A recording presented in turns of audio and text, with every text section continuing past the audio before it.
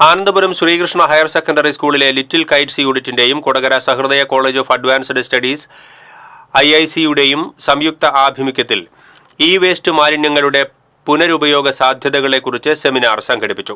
സഹൃദയ college മലയാള വിഭാഗം മേധാവി doctor Swapna C. Kombath വിഷയാവതരണം നടത്തി. Headmaster T. Anilkumar staff secretary B. Biju അധ്യാപകരായ K. Soumya K. E. Shini തുടങ്ങിയവർ നേതൃത്വം നൽകി.